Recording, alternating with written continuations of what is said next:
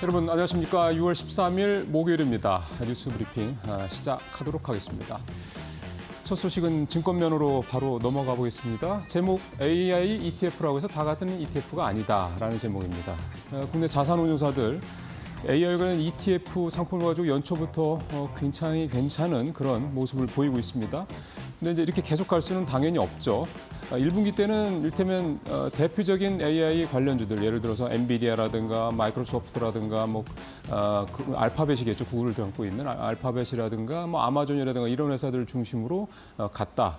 아, 그러면 지금 2분기에 들어서의 분위기는 이런 그 빅테크들 중심보다는 좀 더 세분화된 종목으로 세분화된 어떤 그런 테마로 찾아가는 그런 차별화 또 다양화 세분화 이런 현상들이 나타나고 있습니다. 지금 이 기사에 나와 있는 표도 보시면은 어, 올해 상장한 주요 AI 관련 ETF들이 쭉 나오고 있는데 굉장히 좀 빡빡하죠. 여러분들 보시기에도 빡빡한 만큼이나 그만큼 상품이 다양하게 나오고 있다는 겁니다. 보시면은 어, Tech Top 10 플러스 10% 프리미엄 뭐 이런 식의 covered call 전략이죠. 그러니까 covered call이라는 상품 한번 소개해드렸습니다만 결국은 이제 수익률 플러스 배당까지 어, 덤으로 주는 이런 어떤 그 콜옵션을 넣어서 이런 상품을 얘기를 하는 건데 어, 그런 covered call 전략을 결합시킨 상품도 있고 반도체 칩만 아주 칩 메이커들만 그 집중을 하는 그런 상품도 있고 on-device AI만 집중하는 상품들도 있고요. 굉장히 다양한 이런 상품들. 그다음에 어, 엔비디아 value chain, 마이크로소프트 value chain 이런 어, big tech들 개별 종목들의 value chain에만 집중적으로 투자한 이런 상품까지. 그러니까 ETF가 상당히 이렇게 다양성을 담아내고 있는 그거에 특화된 상품이기도 한데 실제로 그런 게 AI 관련주에서도 좀 그대로 나타나고 있다 이렇게 볼 수가 있겠는데요. 이렇게 다양화지는 배경, 물론 1분기 때와 차별화될 필요 있다라는 그런 뭐 기본적인 목표도 목적도 있겠지만 또 하나 중요한 거는 결국 이제 성과를 내는 데 있어서 이제 빅테크들만 가지고 성과를 내는 거는 조금 이제 어, 한물 갔다 좀 시간이 지났다 이거죠. 그러면은 다른 어떤 어, 접목을 통해서 성과를 내야 되는데 그 성과가 결국은 시장 점유율이기 때문에 예, 그거에 있어서는 이제 이런 다, 다양한 차별화 전략, 세분화 전략이 이제 2분기 이후에는 먹힐 것 같다라고 우리 운용사들이 판단했다 이렇게 해석을 해볼 수가 있겠습니다. 결과는 좀 더 지켜봐야 되겠습니다. 자, 오늘 두 번째, 세 번째 내용 이데일리 이제 산업면에 나와 있는 내용인데요. 어, 이 두 가지 내용을 일단 먼저 좀 설명을 드리면 지금 어, 올 들어서 사실 지금까지도 계속 그렇습니다만 어, 주식시장의 가장 큰 뭐 어, 대장주, 어, mega trend 당연히 AI죠. 근데 작년에 유행했던 Magnificent Seven 종목들 중에서 올 들어서 이 AI 관련해서 유난히 눈에 안 띄던 종목들, 소외됐던 종목들 두 개 있지 않습니까? 애플하고 테슬라였습니다. 근데 애플은 뭐 잠시 후에 말씀드리겠지만 어제 그 말씀드리는 것처럼 그 개발자 회의 이후에 나온 이 새로운 아이폰의 이 AI 기능을 접목시키는 관련해서 좀 완전히 어, 오늘도 그렇고 어제도 그렇고 굉장히 많이 올랐죠. 테슬라는 여전히 좀 부진합니다. 오늘 그 얘기를 좀 어, 중심적으로 좀 해보겠습니다. 먼저 아이폰 얘기를 하면 지금 앞서 말씀드린 것처럼 어, 세계 개발자 회의를 어떻게 보면 딱 분수령으로 해서 탄력이 좀 붙어가는 모습입니다. 어, 오늘 새벽에 끝난 종가는 어제보다 더 많이 올랐죠. 이제 시가총 세계 1위 기록을 다시 좀 세우고 있습니다. 어, 지금 여기 제목에도 좀 여기 밑에 부제도 나옵니다만 혁신은 없었지만 실속은 챙긴 애플이다. 자, 이 내용이 사실은 가장 압축적인 현재 애플의 모습이라고 좀 볼 수가 있겠습니다. 어, 사실은 앱, 이 애플의 세계 개발자 회의를 두고 굉장히 많은 기대감이 있었습니다. 과연 애플이 채찌PT와 어, 코어를 해서 어떤 내용들을 담아낼 것이냐. 그리고 뭐 어떤 또 AI와 관련된 기능들이 담길 것이냐. 실제로 뚜껑을 열어봤는데 뭔가 대단히 좀 혁신적이고 대단히 뭔가 좀 야 역시 애플이야 뭐 이런 어떤 기능들은 없었다. 그게 상당히 실망스러웠던 평가들이 많았음에도 불구하고 당일에는 주가가 좀 부진했지만 그 다음날 하고 오늘까지 이틀 연속 주가가 좀 큰 폭으로 오르고 있지 않습니까? 그러니까 결국 여기서 우리가 애플이라는 회사에 대한 해석을 달리할 필요성이 좀 있다라고 좀 저는 생각이 좀 듭니다. 그게 뭐냐면 사실 애플은 지금까지 스티브 잡스 얘기가 계속 나옵니다. 어, 스티브 잡스가 사망한 지도 꽤 됐는데도 불구하고 그 얘기 뭐냐면 결국 혁신이라는 이 이미지, 이 포장을 계속해서 애플이 가져가고 싶어 한 거. 아니 오히려 소비자들이 애플은 혁신이라는 이 포장을 계속 쓰고 가야 돼 이렇게 생각할 수 있는 거죠. 근데 지금 애플은 분명히 어, 혁신이라는 부분에 있어서는 이미 많이 색이 바래져 있다라는 겁니다. 그럼 애플은 앞으로 가져갈 수 있는 게 뭐냐? 이번 AI 그 관련된 부분에서도 지금 시장에서 평가가 되는 부분이 뭐냐면 애플이 갖고 있는 이 생태계 즉 아이폰, 패드, 그다음에 워치, 그다음에 이 어, 맥북까지 이 애플이 갖고 있는 다양한 소비자 접점이 큰 device들을 갖고 있다는 이 애플 생태계가 바로 애플이 갖고 있는 가장 큰 힘이다. 혁신성은 옛날보다 많이 바랬지만 지금 애플은 오히려 이런 생태계 때문에 더 막강한 파워를 갖고 있다. 이렇게 지금 시장에서 해석을 하고 있다라는 겁니다. 결국 이제 이거에 걸맞는 그런 성과들이 실제 아이폰에서 이제 9월에 출시된 아이폰에서 나와줘야 될 겁니다.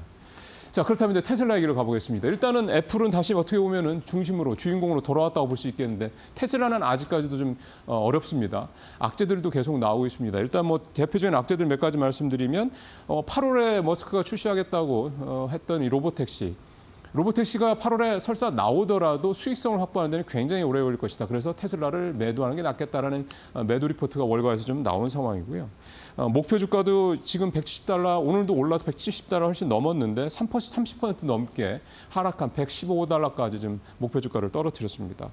또 하나가 현재 테슬라의 주가를 이렇게 버텨주고 있는 가장 큰 힘은 여러분들 잘 아시는 것처럼 자율주행입니다.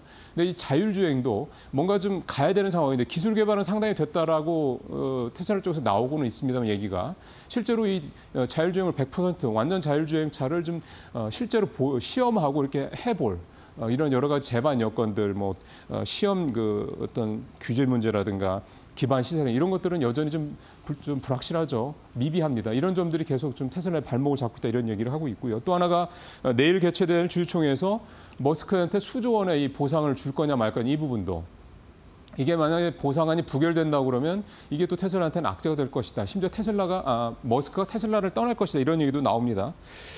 자, 머스크가 없는 테슬라를 과연 상상할 수 있을까요? 여기서 좀 문득 어, 빌 게이츠와 마이크로소프트 생각이 좀 어, 떠올라서 이 말씀을 잠깐 드리면서 이 내용을 좀 마무리할 텐데요. 어, 빌 게이츠가 CEO로 있었던 기간은 사실 그렇게까지 길지 않았습니다. 그리고 나서 빌 게이츠가 어, CEO 자리를 내려놨죠. 그리고 이제 어, 후계자한테 넘겨줬습니다. 어, 그 이후에 이제 지금 이제 어, 이 사티아 나델라 CEO가 지금 마이크로소프트를 이끌어가면서 현재 시가총액 1, 2위 수준까지 지금 마이크로소프트를 끌고 올라왔는데 결국은 어떻게 보면은 이 테슬라라는 이 회사에 더 집중할 수 있고 더 이 테슬라 회사의 관리를 잘하고 혁신을 끌어낼 수 있는 누군가 또 다른 사람이 있을 수 있다면 어떻게 보면 테슬라가 지금보다 좀 더 집중적으로 좀 뭔가 아, 어떤 길을 좀 찾아낼 수 있지 않겠느냐 이런 거를 마이크로소프트의 사례에서도 좀 찾아볼 수 있지 않을까 아, 그런 생각도 최근 테슬라의 부진을 보면서 좀 생각 이 들었습니다. 자 오늘 마지막 뉴스는 역시 또 AI 얘기인데 오늘은 우리 회사 이 카카오 얘기를 좀 해보도록 하겠습니다. 아, 많은 우리 국장 투자하시는 개미분들한테 개인 투자자분들한테 굉장히 트라우마를 많이 주고 있는 그런 어, 대표적인 주 중에 하나입니다. 어, 정신아 카카오 대표가 지난 3월에 주총을 통해서 벤처 대표를 하다가 이제 카카오 전체 대표로 취임을 하고 나서 이제 어제 첫 기자간담회를 가졌는데 어, 정 대표가 했던 내용은 크게 두 가지로 요약이 됩니다. 첫 번째는 어, 단기적으로는 카카오 본질에 그 집중을 가능한 그런 성장 방향성을 찾겠다. 두 번째는 올 연내 차별화된 카카오만의 AI 서비스를 내놓겠다. 이렇게 크게 두 가지인데요.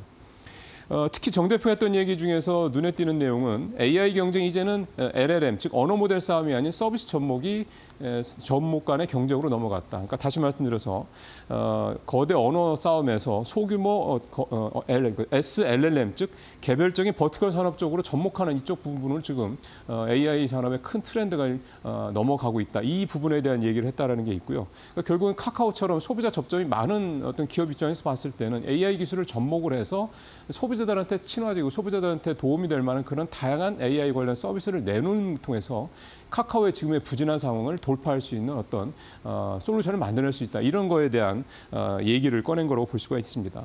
카카오 정 대표가 취임했을 때 3월 말에 카카오 주가가 5만 원대 초반했는데 지금은 4만 원대 초반까지 그 사이에 또 한 20% 떨어졌습니다.